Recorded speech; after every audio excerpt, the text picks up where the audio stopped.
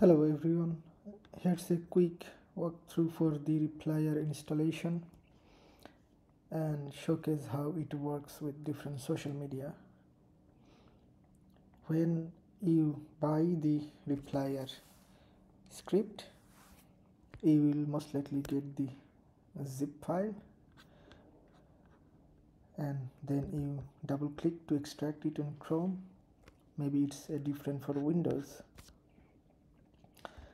then for Chrome you go to the extension page enable developer mode and you have to load the extension through the load unpacked option.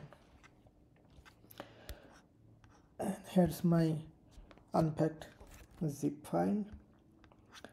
And as you can see I selected it and it's here replier version 1.0 and it's active.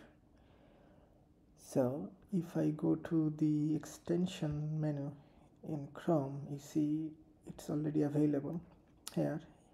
For your convenience you can also pin it in the toolbar so you can quickly access it. This extension requires you to have your own OpenAI API key and the app does not come with anything. So to get the OpenAI API key you google it open api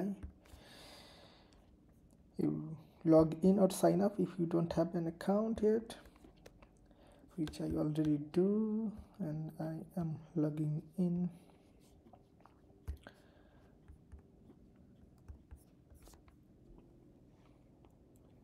And once you are logged in you go to dashboard API keys and you create your new API key put any title and or it's optional and then you will have your API key. You copy it.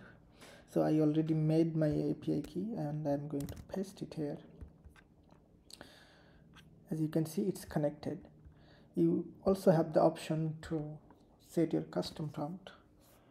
For example if you want a business and if we want the replier to act as your social media manager for your business you can give an instruction to it and it will follow the instruction you give it to.